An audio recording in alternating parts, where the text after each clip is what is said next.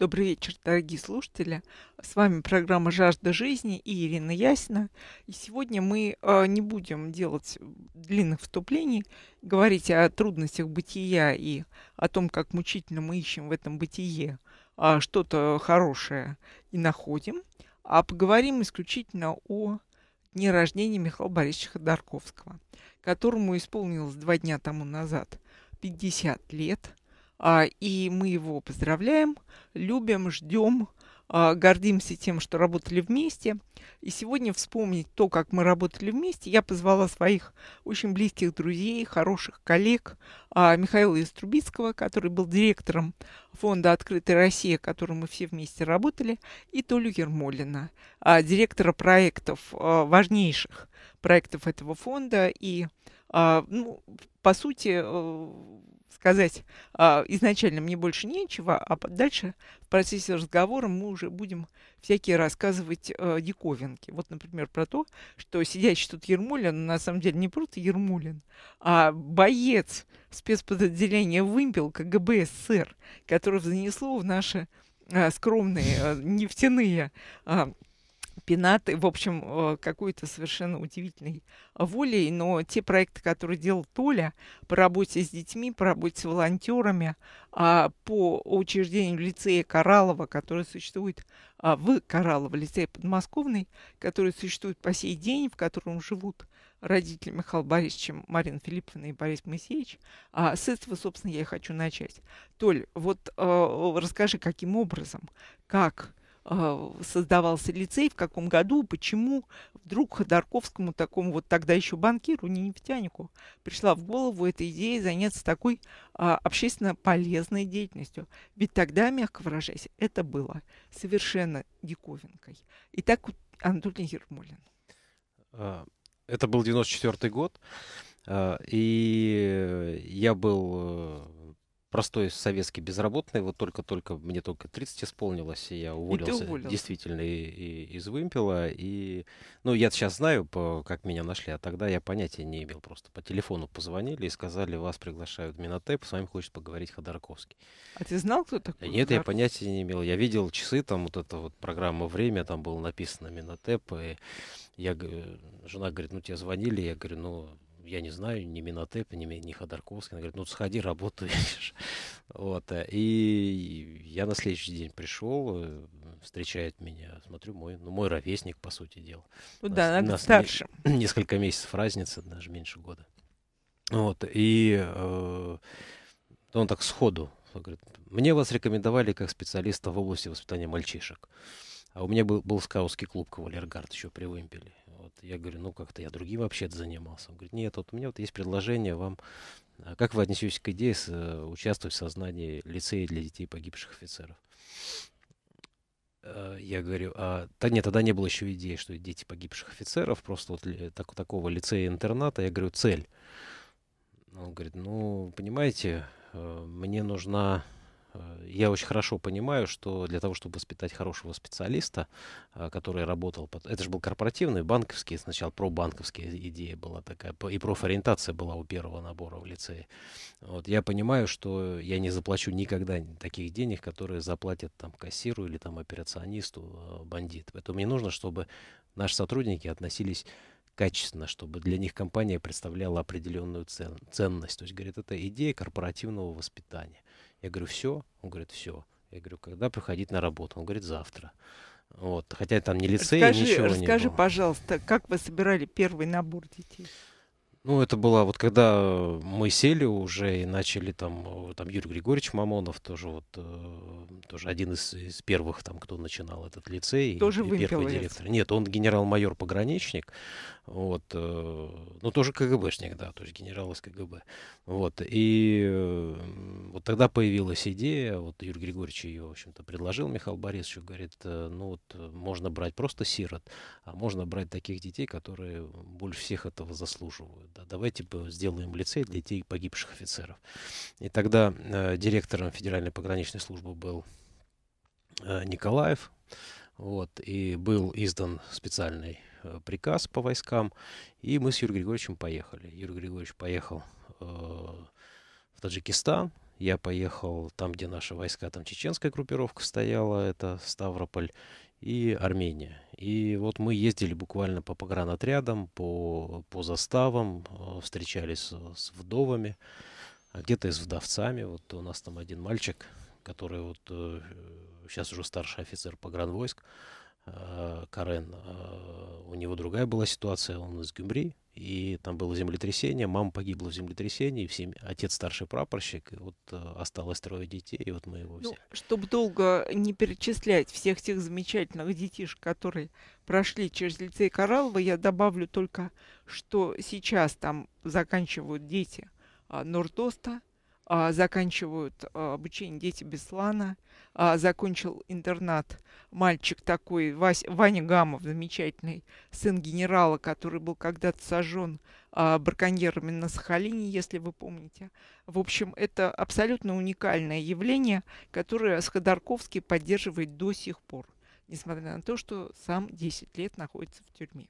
Вот сейчас мне хотелось бы еще задать вопрос а, про замечательную организацию, которая была им же создана.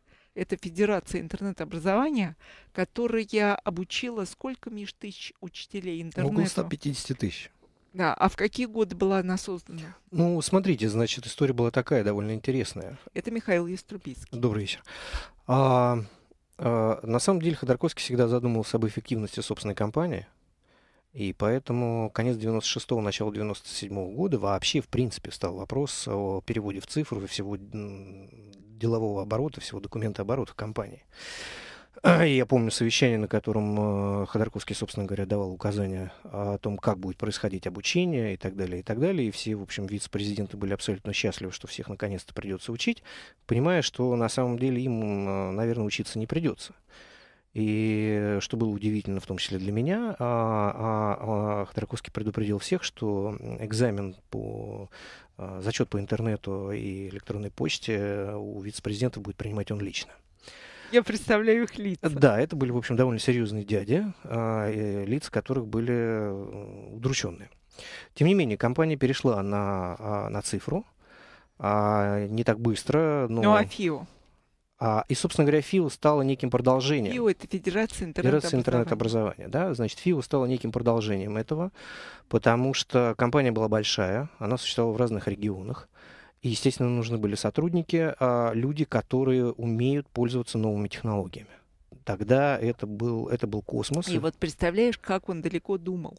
Он ведь понимал, что сотрудников воспитывают школьные учителя. Совершенно верно, да. То есть э, можно было обучать просто сотрудников, а, но, тем не менее, было принято решение о том, что мы готовим именно тех людей, подготавливаем тех людей, которые занимаются обучением.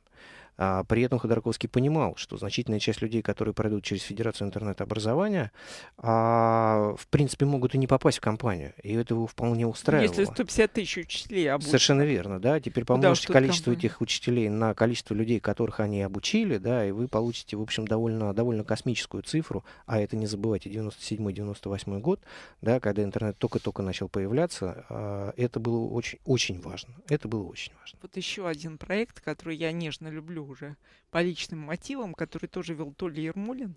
А я все к тому хочу привести, что вы поймите, это были 90-е, лихие. Ходорковский был еще не тем Ходорковским, который он, а, изве, которым он известен нам сейчас. И вот тем не менее, и лицей, и а, обучение учителей, и замечательное совершенно движение «Новая цивилизация», которое было создано для подростков. И вот Толя Ермолин им, собственно, уже очень непосредственно руководил. Ну, собственно, это новая цивилизация, я всегда об этом говорю, она родилась из лицея, потому что а, ну, в общем, содержание нашей работы э, с подростками э, заключалось э, в комплексных деловых играх, которые моделируют эффективный социум, эффективную экономику, эффективные выборы, эффективную а, общественную деятельность. И, в общем-то, вот все основные вот как раз киты, да, вот как бы вот э, глубокое экономическое образование, да, управленческая подготовка, потом э, приключенческие тренинги, ведь э, всегда же мы даже в любом горном лагере, там на Красной Поляне, которые делали, да, всегда девчонки брали с собой э, нас были такие сказочные программы, да, бал королевы, всегда брали вечерние платья, туфли на шпильках, то есть всегда была вот такая красивая сказка. Я помню даже еще, когда в лицее, когда я по Минотепу ходил, там, ну не то, что клянчил деньги, но говорил, дайте деньги, дайте деньги. Там, а говорит, зачем тебе деньги? Я говорю, мне нужно купить жумары, там, мне нужно купить альпинистскую веревку. Мне, что ты сказал, какое? Я говорю, жумары. Такие приспособления для того, чтобы по отвесной веревке по скалам подниматься. И говорит, слушай, ну это у Миши блажь, он наиграется и забудет про это дело. Так вот эта блажь вы, вылилась в кавычках, да, во что? У нас более тысячи школ участвовало в нашем проекте. То есть это ну, более миллиона детей одновременно имели возможность участвовать, по сути дела, в наших программах, потому что была такая комплексная система, там, э, игра, школа, как э, детская демократическая республика. То есть, по сути Я дела... помню, поскольку моя дочь, личная дочь, принимала в этом во всем участие и играла в лагере и в, издать, в издании независимой газеты, и в независимый суд, и кто-то был банкиром, кто-то предпринимателем, кто-то социальным работником. В общем, все это было. На Истре она была. Ну да, да, у нас потом появился очень хороший, хороший кемпинг настоящий такого, я не побоюсь слова, мирового уровня, то есть вот по, по, по лучшим э, международным стандартам был он построен.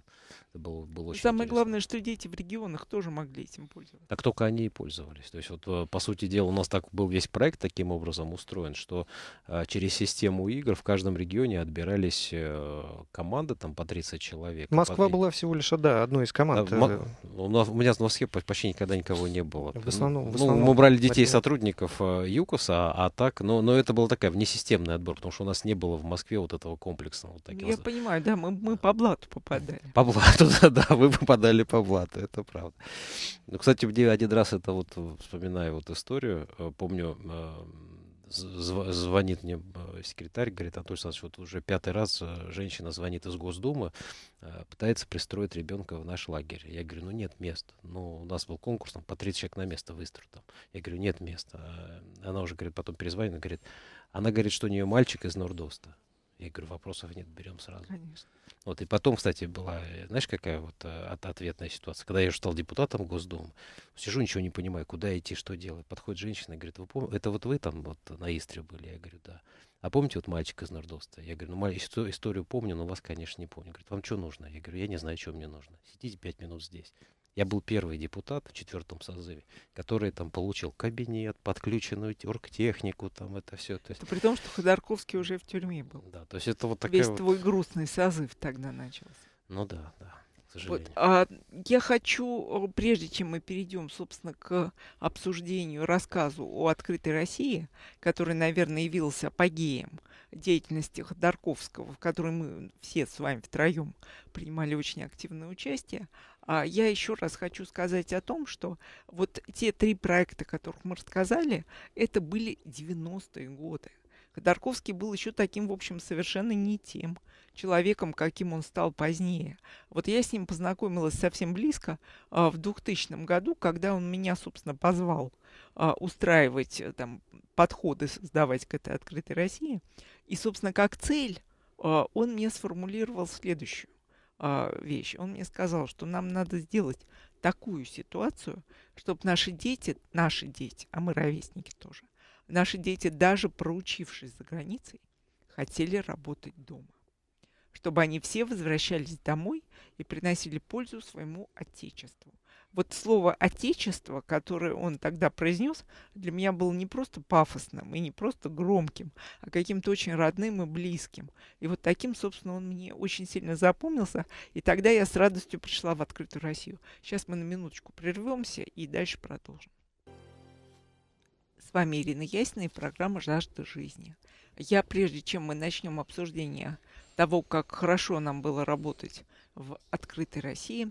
Хочу попросить нашего звукооператора, режиссера включить телефон в студии, а слушателям напомнить, это код города 495 а, и номер 651099 Если кто хочет, звоните нам. Гадости, пожалуйста, не говорите, потому что мы все-таки хотим вдруг, а, конечно, у Ходорковского не получится нас послушать, но расшифровочку мы потом ему перешлем. Вот, а, Миш, вот посмотри на меня отвлекись от своего лэптопа и расскажи мне, пожалуйста, уж тебя занесло на самую а, опасную наверное, в твоей жизни э, карьерную ступеньку, ты был исполнительным директором этой самой открытой России в тот момент, когда Михаил Борисович уже был в тюрьме. Вот э, я понимаю, что ты честный человек, смелый мужчина и так далее. Ну скажи честно, страшно не было? Ну, было, но уже потом. Значит, потом это когда? Потом, когда уже все закончилось, было страшно. Значит, дело в том, что ну вот э, тут недалеко э, мой родной хозяйственный институт народного хозяйства имени Плеханова. Я всю свою жизнь занимался, собственно говоря, решением разного рода административных хозяйственных вопросов. Э, вот. И представить себе, что хозяйственнику может быть значительно страшнее, чем политику, мне было, в общем, довольно сложно. А вот воле случая, да, то есть я пришел в группу, когда еще не было даже Роспрома, это был тогда еще банк Минотеп. Ну, я всю дорогу занимался решением тех или иных административных, управленческих, хозяйственных вопросов. А и вот вдруг неожиданно э, начались события, которые, которые трудно было себе представить. Да? То есть э, заключение Ходорковского, огромный, огромный механизм э, фонда «Открытая Россия», бюджет которого в последние годы достигал там, 19, почти 20 миллионов долларов в год. А мы просто работали на самом деле. Ну, работали, я понимаю. В свое время, я помню, даже следователя удивил тем, как работали. Ну да, это была такая довольно славная история. Значит, э, это уже был 2006 год весна, когда пришли закрывать э, счета открытой России. Это было чуть раньше, чем закрытие счетов. А меня предоставить, меня попросили предоставить некую информацию о том, чем мы, собственно говоря, здесь занимаемся. Я достал, в общем, довольно простую вещь, э, листочек А4, на котором были перечислены все проекты открытки в 40 Например, какие? Ну, смотрите, значит, ну, школа публичной политики э, раз, это из больших, да, а помоги советам два. Это Толин проект. Это Толин проект, да. Клуб региональной журналистики 3, это твой проект, да. Фонд общественный вердикт 4. А, а, проект правосудия. А... Ну, он, по-моему, так не пошел. С судами у нас тяжело было. Ну, неважно. Ладно, короче, проекты. И что? А, а, внизу стояло итого там 19 миллионов 800 тысяч долларов в год. А, человек, э, который сидел напротив меня, который, собственно говоря, руководил а, визитом ОМОНа и Генеральной прокуратуры, задал вопрос, вот э, так интонация, в общем, была такая, да, что неужели вот это, вот эти деньги на все, вот все на это? Значит, ну, не очень уютно себя чувствуешь, когда у тебя в, в коридоре пять бригад э, Генеральной прокуратуры и отряд ОМОНа во дворе, да, ну, на что я сказал, что, как бы, если, э, если вы найдете хоть одну а, а, украденную копейку хоть в одном регионе, ну, отдайте этого человека мне, даже не, не тратьте на него время. Да, мы так работали. А, причем я считал и продолжаю считать, что работа некоммерческих организаций по своей эффективности значительно выше, чем коммерческих, потому что в значительной степени люди работают не за деньги. И это было очень важно. Да, это очень важно. Миша, ну это им не помешало потом ничего сделать. Я просто вспоминаю, как Миша ко мне заходит, говорит, слушай, говорит, пришло письмо, там деньги арестованы. По твоему проекту претензии у тебя там 12 э, контрагентов а, находятся в розыске. Я, честно говоря, чуть со стула не упал. Мне стало... Я, я тут же там, давай список, открываю список, читаю там там э, института УЗАНа, там ну, все такие уважаемые организации, которые вот здесь сидят, работают. И разыскивать их И, и все в розыске в письме, да, что вот это... Да, Толя, расскажи про свой проект, про «Помоги советам». Что это, собственно, было? Ну, это было, ну, опять же, вот у меня так проекты росли один, один из другого, и, в общем-то, мы вышли на тему волонтерства и как раз понимали, что волонтерство это, а, ну, это очень серьезная производительная сила, и в общем-то, если перевести в деньги, то это огромная инвестиция в развитие страны.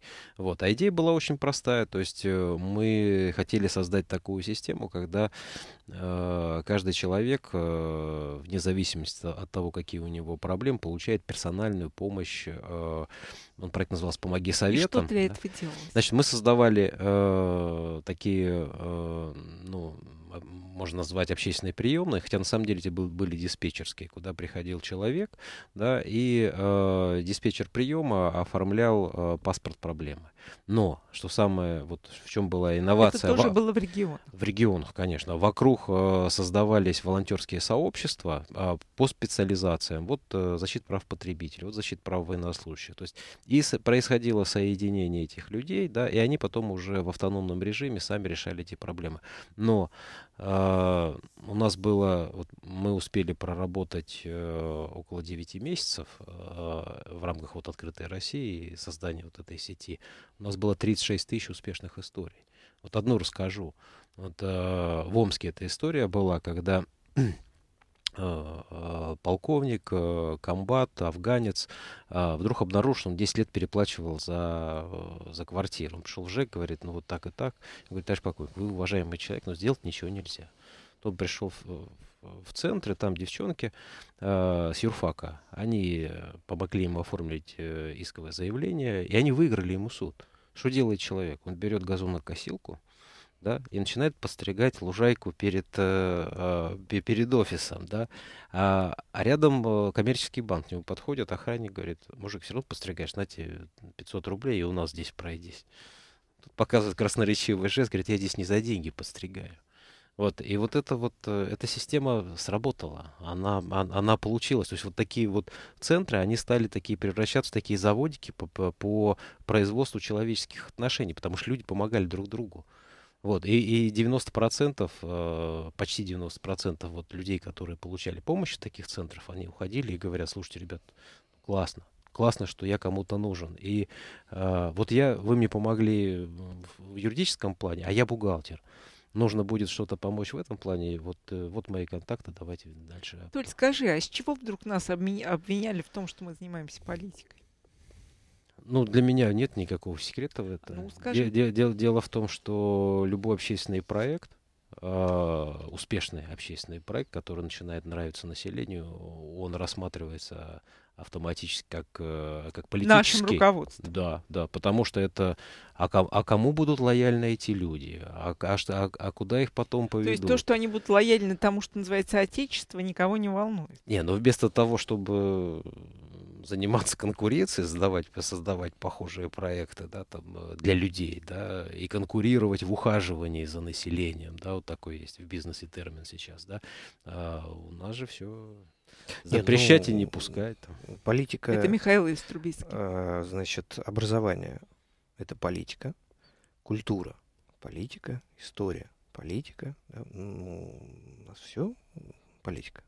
Но это же ментальные модели. Ну что такое воспитание? Это формирование мировоззрения, формирование способов решения проблем. Что такое новая цивилизация? Это такая э, уникальная технология об, об массового обучения там, тысяч, там, десятков тысяч Слушай, ребят. а тебя же еще обвиняли в том, что ты с саентологами какие-то дела имеешь. Слушай, это, это, это э, не просто обвиняли, да, а мне даже из службы безопасности ЮКОСа как-то звонят и говорят, э, Антон Александрович, посмотрите на свой сайт. Я говорю, ну, нормальный сайт, новая цивилизация. Говорит, а вы, говорит, по ссылочке перейдите. Я, а, зайдите теперь на сайт саентологов. Я говорю, я не знаю, что. Ну вот я вам ссылку а посмотрю. Кто это? Я захожу, и там, там написано а, «Миры новой цивилизации», молодежный проект. Кликните. Я кликаю и улетаю на свой сайт. То есть уже тогда а, вот такие вот провокации уже, уже, уже создавались там. Как ты думаешь, кому это было нужно? Знаешь, вот э, я еще по первому дефолту помню, ну, по 98 году, когда вот чуть-чуть ЮКОС даже не за то, что зашатался, а ему стало так же трудно, как, а, как всей стране, да, и по всей стране, по, а, по, по всем нашим регионам пошли вот эти вот заказные статьи, там, а, там кинули э, ЮКОС детей, и там, как, когда закончилась новая цивилизация, там, ну, то есть э, самое, самое противное, что детей нач, на, начали третировать. То есть вот, э, ну, мы не могли исполнить какие-то там обязательства, например, отправить их там в международный там, ну, на, на всемирный слет скаутов, да, а уже генерал, э, губернатор вручил путевку там, а уже как бы мы там обещали, да. Ребенок пытается, понимает, в ЮКСе денег нет, выходить там на местную власть. А, а власть вместо того, чтобы взять доправить одного ребенка, да, начинают создавать целую пропагандистную, пропагандистскую кампанию, да, для того, чтобы... Ну, это все-таки немножко не то, о чем я тебя спрашиваю. Вот а, новые владельцы тех активов, которыми владел Ходорковский, я имею в виду Роснефть непосредственно, потому что основные активы ЮКОСа перешли к Роснефти. Ведь а, ничто из тех социальных проектов, которые ввели мы с вами, ни лицей, ни ФИО, ни новая цивилизация, ни открытая Россия ничего не переняла. Ничего эти люди не стали делать. Вот как получается так, что тот, кто а, озабочен, в самом лучшем смысле этого слова, судьбой страны, будущим наших детей здесь, в России, а, сидит в тюрьме, а те, кто берут, так сказать, его собственности и распоряжаются, они как бы ни за что не отвечают. Они ничего не делают. Они ни в чем таком не замечены. К сожалению, я еще минуту займу. А мы мало рассказывали о том, что делала «Открытая Россия» а, и вот все эти проекты тогда, когда мы их делали. Потому что у нас всегда была дилемма говорить о том, что делает Ходорковский в этой области, можно было только за деньги. Потому что, ну что греха таить, пресса довольно алчные люди. И в основном все хотели денег. Были алчные. Были алчные, да, потом стали другие. Потом стали пугливые. Да, и... и потом послушные. Да. Что, в общем, пугливые послушные в данном случае синонимы. Вот, и мы всегда думали, о чем мы будем рассказывать. Мы лучше на эти деньги что-нибудь полезное сделаем. Ну вот, так тем не менее. Вот кому было нужно то, что вот загасить все эти проекты?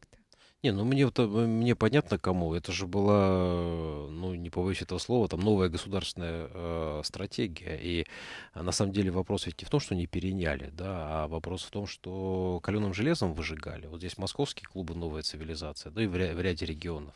А, просто директоров э, дворцов пионеров и школьников там вызывали и говорили там либо заявление на стол, либо завтра клуба «Новая цивилизация» не, не будет. Это, ну, это э, мы пытались строить другую культуру, мы пытались э, создавать другого человека. Другой же по заход был, это те же самые движения наши. Вот вспомни наш проект «Лига дела». Да, да, да он назывался, у него название было, кстати, второе название, мало кто о нем знает, «Идущие сами».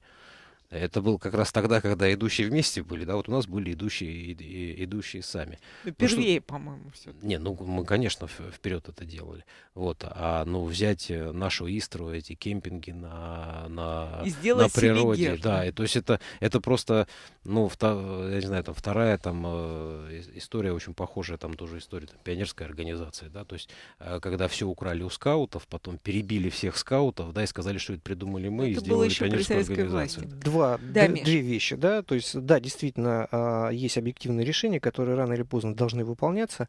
Только два примера, да, это школа публичной политики, которая в свое время была создана Ходорковским в рамках «Открытой России», и последующие школы, которые создавались а, действующей партией, в общем, очень похожие абсолютно э, с не той эффективностью. То же самое касается, если вы помните, пресловутого нефтепровода в Китай который, который был предложен Ходорковским и который сейчас будет реализован или уже в процессе Господином реализации. Сечиным. Да, совершенно верно. Да? То есть есть вещи, которые по определению объективны. Ну вот э, давайте вернемся к личности Михаила Борисовича непосредственно. Толь, вот как ты объясняешь то, что он молодой человек, а, в общем, очень такой механистический, в самом таком прямом смысле этого слова, нацеленный на прибыль, на э, такие вот сугубо капиталистические вещи, стал думать об этом во всем. Ну, понимаешь, э, поскольку я уже больше 20, ну, 20 лет знаю Михаила Борисовича и его семью, я просто знаю, что все идет из семейных ценностей. Но взять тот же лицей под Москву. Кстати, это был тот проект, про который нам категорически было запрещено рассказывать. Страна узнала про лицей, когда туда пришли люди в масках. Да, да нам было Правда. категорически запрещено рассказывать про сам про бриллиант на самом деле в короне всех проектов ЮКОСа. Это было это был семейный интимный проект помощь самым-самым-самым нуждающимся. Вот надо вспомнить, что Борис Моисеевич беспризорник, да, то есть это был семейный проект. Это папа Михаил Борисович. Да, а вот э, поэтому все, все идет оттуда. Я же это э, сколько проектов э, вот мы не делаем, сама это помнишь, мне все говорят, да ты знаешь, да, да это там олигархи, да ничего тебе там... Для чего ты для, это для, для, для, для чего ты это делаешь? Искупают. Да, типа вот ты, ты, ты вот что-то не знаешь, тебе потом, ну я не знаю, вот я 20 лет, может, чего-то не знаю. И, кстати говоря, когда вот ко мне подходили те же самые организаторы Селигера, и там говорят, Антуль Александрович, они так уважительно к нашим программам относятся, говорят, Вот, а, объясните, говорит, какие специальные чекистские технологии вы там применяли, чтобы вот такая вот лояльность э, к Ходорковскому? Я говорю, ребят, мы никогда ничего не просили взамен. Мы просто делали для молодежи, а для детей как классные, классные зашел проекты. первый раз. Сейчас, Миш, расскажет Толя, как а, зашел на лицей. Да, да, это отдельная история. Вот, э, ну, ты знаешь его принцип, он, э, если берет человека на проект, он э, договаривается там по деньгам, по целям, по задачам и не лезет. Вот, вот удивительное, да. И вот он, он полгода вообще в лицей не заходил. Там родители живут, он к ним приезжал каждую неделю. Я еще поражался, вот при его нагрузке каждую неделю он почти старался быть, приезжал к родителям. Вот. Э, и, и я уже привык, что он издали так как-то смотрит на детей, там, метров в трехстах, но никогда не подходил. Один раз пришел. Вот, это было... Э, и в это, как раз, это был воскресный день, дети закончили там генеральную уборку, сидели там по квартирам. Вот, э, у нас был семейный подход, семейное обучение. Там все, все блестело, все было вымыто. Вот он зашел, то осень была. Он разулся и пошел босиком в носках начал вот. И конечно он убил всех на, Не, ну, наш, наших преподавателей квартире, о чем вы вот, говорите естественно он это понимает такого вот, рода ну, ну никто до этого не делал. Ну тщательно вытирали там ноги там или ну он хозяин такое, всего да. этого вот. да. вообще мог бы не, не, человек пришел это уважение нет, к детям я, я, считаю, вот к две вещи, к детскому. две вещи хочу сказать. Значит что значит хозяин да? Да действительно он хозяин да он действительно был миллиардер но я очень хорошо помню я кстати у него этому научился да когда Ходорковский лично звонил кому-либо по телефону, прежде чем начать разговор, он всегда спрашивал, вы сейчас можете со мной говорить, да? При всех миллионах, там, миллиардах, при всей, соответственно, значимости там, и так далее, и так далее. А про Толю хочу вспомнить вот какую историю. Он, может быть, ее не помнит, а я помню, он мне ее сам и рассказывал. Мы, собственно говоря, наблюдали за его проектами. Это к вопросу о том, а, какие технологии... В каком вы... смысле вы наблюдали за проектом? Мы за всем наблюдали. Наш, мы, мы хозяйственники. Финансовая служба, конечно. Значит, а, это к вопросу о том, какие технологии вы применяли. Значит, они же работали не просто с детьми, они еще и над собой работали. А они снимали каждый семинар, каждый тренинг. И я помню, была история, когда а, Толя мне рассказывал, да, мы это видели. Он говорит, слушай, ведем специально семинар, тренируем а, а, демократическое отношение, да, а, спо- да. да, способность к дискуссии и так далее, и так далее. Говорит, слушай, смотрим потом, сами на себя, тренеры, участники, руководители программ, какие мы авторитарные. Ужас. Ужас, да, со стороны, да, то есть когда ты Синдром в запале, зомби. да, и они работали над собой, в этом секрет. Да, то есть... Вообще умение признавать собственные ошибки было и у Ходорковского. Это правда. Абсолютно уникальным для человека такого уровня. Я помню, как он пытался создать фонд «Общественный вердикт», и мы в конце концов его создали, а, и искал туда первое лицо. Мне он не доверял, сказал, что вот эти ваши интеллигентские штучки, Ирочка, оставьте при себе, тут займутся мои хедхантеры. И хедхантеры ЮКОСа пошли, значит, по вторым лицам всех общественных организаций ведущих. Там МХГ, Мемориал и так далее. Не учти одного – на следующий день все эти вторые лица созвонились между собой, не поняли, кто к ним приходил и говорил, что тут есть некий бизнесмен, который создаст большой такой проект помощи людям, пострадавшим от правоохранительных органов. А они решили, что к ним приходили из КГБ. Когда я Ходорковскому на следующий день сказала, Михаил Борисович, вот ваши хедхантеры, как слоны в посудной лавке, устроили вот такую вот бодягу. А он был тогда на вершине власти. Он мне сказал, почесал, Миш, кончай перебирать бумажки. У нас эфир. Это открытая а, Россия. Ну, конечно. Он проекты достает. Он достал, да, бюджеты, проекты. Вот он мне сказал, слушай, я был неправ. Я думаю, боже мой, как я люблю мужчин, которые умеют сказать, я был неправ. А тем более при таких деньгах и такой власти. На минуточку рекламы прервемся. Слушайте, вот э, Яструбицкий совершил просто диверсию э, в прямом эфире. У меня, довел меня до слез практически.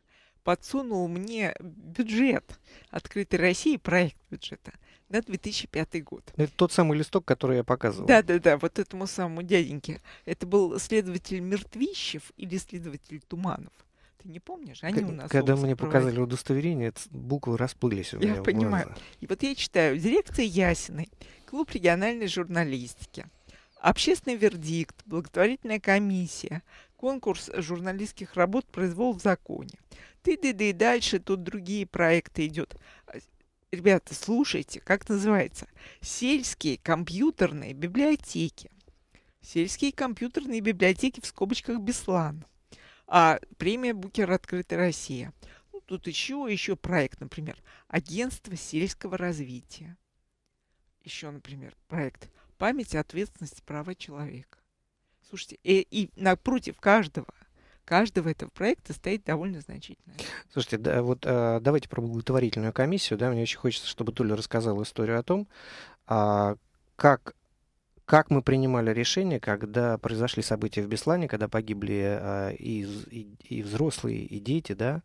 Вот он очень хорошо знает эту историю, это очень правильная история. Толя, расскажи ну, про Да, своих... я как раз тоже хотел об этом. Ну вот когда случился Беслан, и, естественно, там погибли в том числе мои, мои друзья, офицер, с которыми я много лет служил. В Импеле. Э, Да, и, э, в общем-то, Михаил Борисович сразу же отреагировал. Он был И- в тюрьме, я Да, напоминаю. он был, он был в тюрьме, но тем не менее там э, задал вопрос, чем можем помочь. И, э, собственно, мы приняли решение, там 250 тысяч долларов, да, насколько я помню, э, выделить. Да, из э, моего д- бюджета, вы- вы- помню. выде- да, выделить э, семьям погибших. И я тут же поехал э, в Балашиху для встречи с руководством, с Тихоновым. Вот, э, мой, мой вопрос был такой, деньги возьмете? Ну, ну, говорит, ну, такое дело, конечно, возьмем. Вот. А я, кстати, напомню, а, ситуация потом имела продолжение. Как раз мы там, и он говорит, ты знаешь, говорит, а, дело в том, что вот кто погиб в Беслане вот сейчас, вот, да, ну, деньги, в общем-то, есть сейчас, беспрецедентная помощь. Но у нас за день до Беслана погибли а, семь человек, и на них, для них ни- никакой помощи. Да, и можем, можно ли нам эти деньги использовать на, а, вот для них там? И Михаил Борисович дал добро, то есть и деньги таким образом были использованы. Но что меня поразило, я тогда не знал это. Вот мы тогда сидели как раз у Тихонова, он говорит, а ты знаешь, что это мы арестовывали Михаила? Э, Господи, какая ужасная судьба. А вот потом я тебе еще что, что хочу сказать. Вот, а, я же потом привозил в Беслан э, офицеров, которые штурмовали. И, а, а- Э, а в у нас лицее, да, в лице, в, в лицее, да. У нас же 28 детей было прямо из этого спортзала. да, и сейчас там учатся, но тогда это был. И вот приехали... Когда еще маленькие, Да, и, и тогда приехали пять э, офицеров, э, участников этого штурма, вот, в форме с наградами, вот, и потом надо было видеть, как дети облепили вот этих вот здоровых дядек, и они такие вот как как баскетболисты стоят, и все, и он только одному поди бросится, да, там, и все, и все, и все, и все, без все плачут. уже невозможно.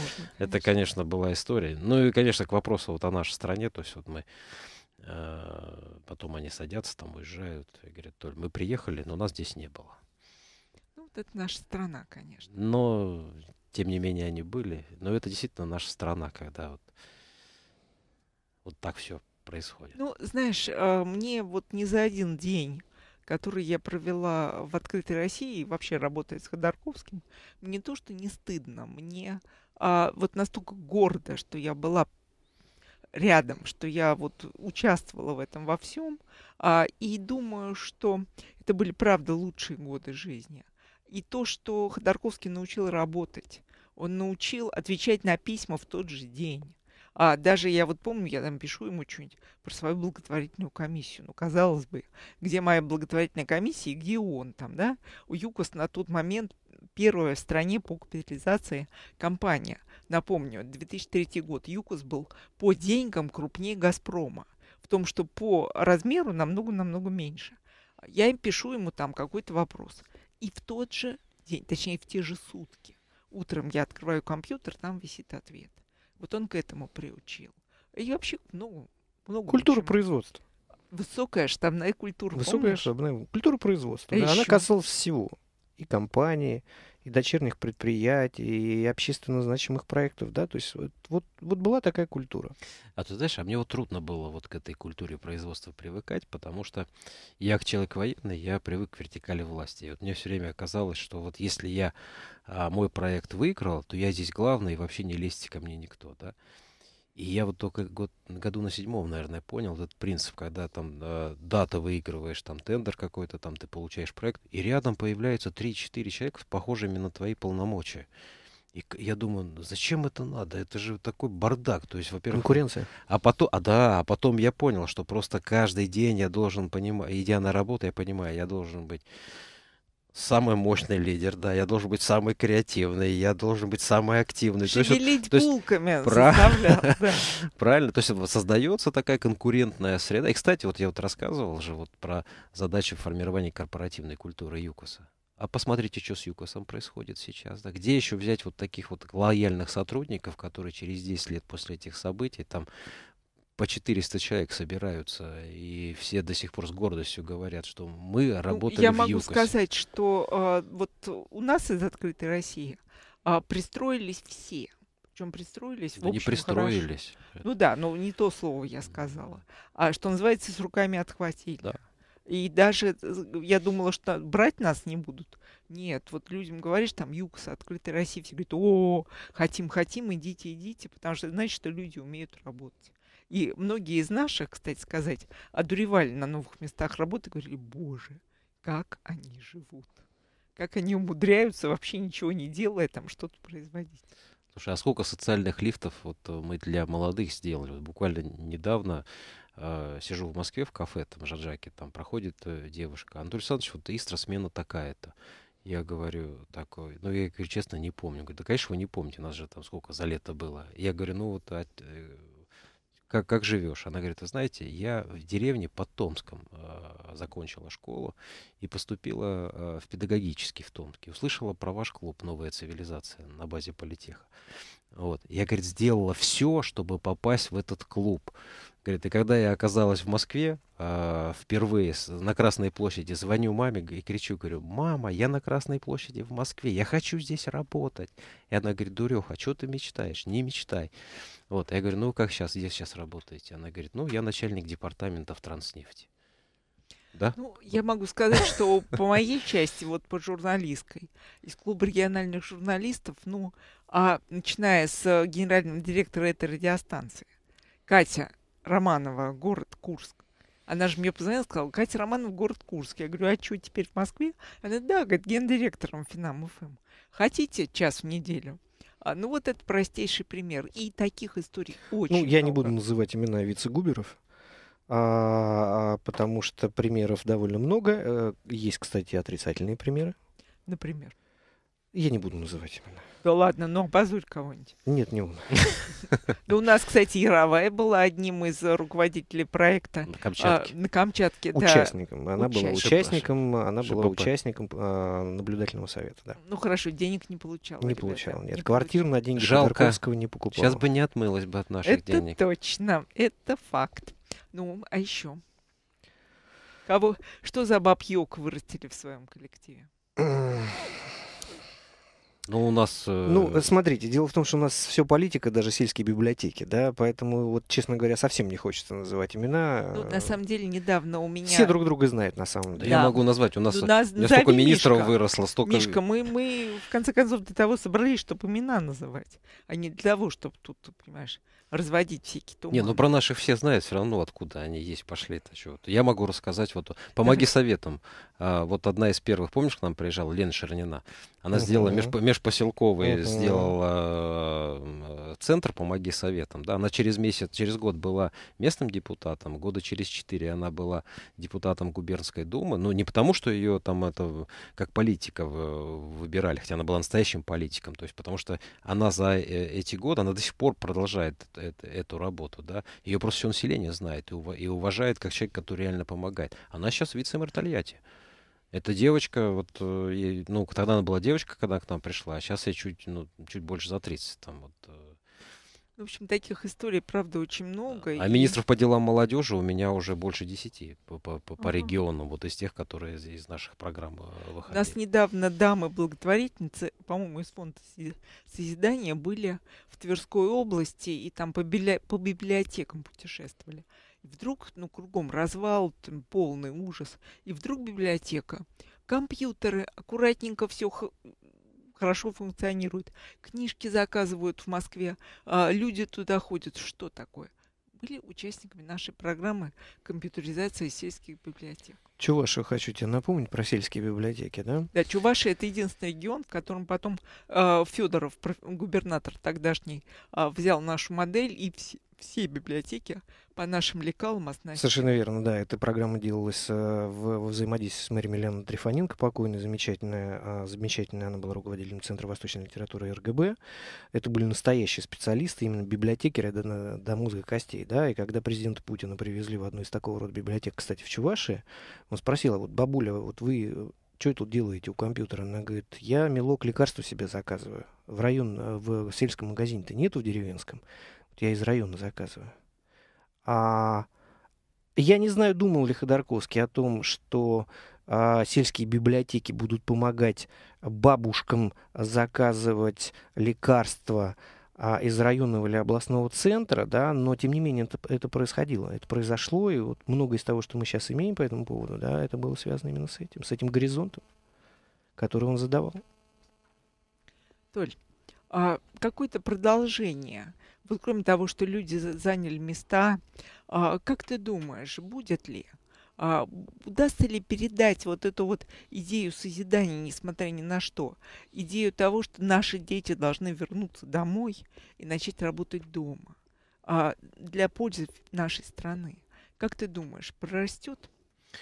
Слушай, ну, я уверен, что и прорастет, и прорастает. Просто э, ситуация какая? Э, ситуация, что заключается в том, что мы-то побросали семена на чернозем, а сейчас сверху асфальт закатывают.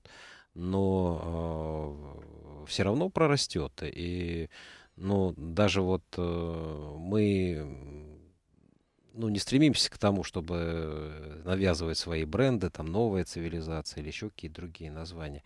Но мы видим огромное количество технологий под другими названиями, которые работают. Ну, была новая цивилизация, стала цивилизация юных, там еще, еще что-то. Там все, все лагеря там э, в летний период э, черно, э, на Черноморском побережье, все играют в детские игры государства, да, там и... А, знаешь, какая самая смешная, вот недавно была история, приезжают ко мне ребята, молодые такие политики, бизнесмены из набережных Челнов, такие по 30 лет собранные такие все вот, бизнес в глазах такие все организованные, там, ну, поговорили, дают мне визитку, на визитке написано «Лига дела». Я такой говорю, хорошее, угу. хорошее, назва... хорошее название, как придумали. Я говорю, Антон Александрович, знаете, э, мы вот, э, у нас есть центры социальной помощи, у нас там уже там полторы тысячи человек прошли через эти центры. К нам девочка из Омска приехала, привезла книжечка такая красненькая. Я говорю, ну, я знаю автора этой книжки, там, и, и, и, и, и, и знаю, кто финансировал этот проект и кто его в первую очередь поддержал. То есть э, вот это вот самый яркий пример, да, когда даже не зная нас, просто, понимаешь, какая-то, ну, не какая-то, я знаю, что это, э, твоя же выпускница была Сербина, при, да, при, Ира, при, Сербина. Ира Сербина привезла эту книжку туда, вот, да, и они ее взяли, и не зная ни нас, ни Юкос, ни Ходорковского, да, ну, как бы, как причастных к этому, ко всему, взяли технологию, на ее основе создали вот систему систему, которая помогает ну, вот людям. я как раз и это имел в виду, что э, Михаил Борисович умел как-то какой-то другой совершенно горизонт э, предвидения, горизонт мышления, будучи абсолютно на самом деле рациональным и при этом человечным э, э, э, менеджером, э, он, он, он находил те решения, которые которые в любом случае являлись максимально, максимально оптимальными и, и, и долгоиграющими. Да? И если они не были в той или иной степени реализованы тогда, то они так или иначе э, реализуются сейчас. Да? То есть просто есть вещи... У кого не... телефон не выключен, скажите мне. Не знаю. Звонит телефон у кого-то. Нет, я, я, Нет? я слышу Всё этот нормально. телефон, но Это не знаю. Чей. Караул.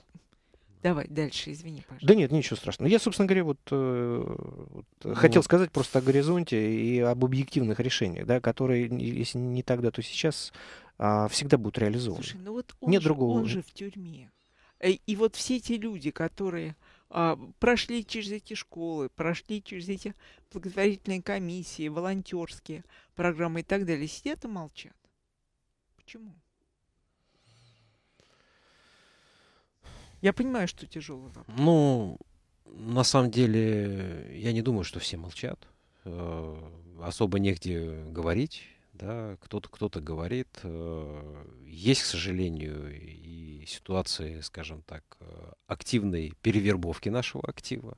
Да, вот я знаю по движению наших, просто у меня есть такая информация, да, что просто вот приходили, мы же всех отобрали, да, и к ним просто приходили, и, и мне просто много людей звонило и говорили там, то есть, а что делать, вот про, пред, пред, предлагают.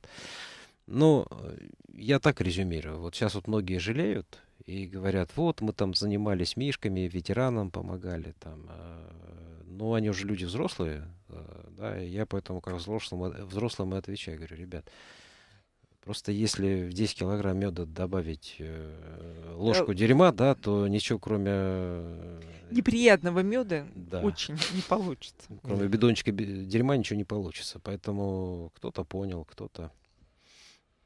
Ну, тем не менее, я думаю, что очень многие из наших выпускников, они вошли в такую, э, во внутреннюю иммиграцию, во внутреннюю оппозицию. Я, я бы не сказал там таких, как Яровая, у нас немного, да, кто выслуживается. Многие просто пошли по пути э, высокого профессионализма. Миш, а ты что хочешь сказать по этому поводу? Слушайте, ну, во-первых, я вам хочу сказать, что э, мне кажется, это вот такое мое, э, может быть, не совсем стандартное мнение. Э, дело вот в чем. Дело в том, что первые годы, вот, э, после того, как Михаила Борисовича посадили, э, мне кажется, все не до конца понимали э, что, собственно говоря, во-первых, произошло, а каковы могут быть последствия, и не до конца понимали ценность того, что было сделано им и при его участии. Да? И вот с годами, мне кажется, да, понимание того, что было сделано, а, какова ценность сделанного, каковы результаты, причем результаты, которые уже сейчас можно увидеть. Да? Тогда их не было видно, а сейчас они видны а значимость всего этого совершенно изменилась. Да? То есть вот только сейчас, может быть, наступает некое понимание. Да? Потому что я, я просто смотрю по своим близким друзьям, многие из которых вполне себе приветствовали посадку Михаила Борисовича. Ну и друзья у тебя. А, ну это я так. А сейчас они занимают совершенно другую позицию. Друзья мои, я очень благодарна вам за этот разговор. А, мы получили от него больше, наверное, удовольствия, чем кто бы то ни было, потому что у нас была возможность вспомнить а как это бойцы вспоминали минувшие дни и битвы, где честно рубились они. А вот, а еще я хочу сказать от себя, что власть проиграла, уже проиграла, потому что Ходорковский э, не ассоциируется более ни с экономикой, ни с политикой, ни с чем, кроме нравственности и примера самостояния, такого вот прямохождения человека с несогнутой спиной, который в нашей стране в последнее время встречается ой, как редко. А это мужество, этот совершенно удивительный жизненный а, накал, который а, сопровождает его в последние годы, этот человеческий рост, а, это умение не сломаться в самых неприятных обстоятельствах, стал важным для очень большого количества людей. Потому что примеры успешной карьеры у нас есть, примеры в политике у нас есть, а вот примеры, когда человек не ломается, упав с самых горних высей. В общем, в самое дерьмо, которое только можно вообразить себе. А, тем не менее, мы хотим, я думаю, с вами одновременно сказать ему, Миша, с днем рождения, мы вас очень любим, мы вас очень ждем, все встретимся на вокзале, скажите, когда приедете. У дверей. но пасаран. Да, но пасаран. Это точно. Вот. И я а, хочу, конечно, пожелать здоровья и терпения его родителям, его жене, его детям. А, дождитесь, ребята, ждите и знайте, что вы ждете великого человека.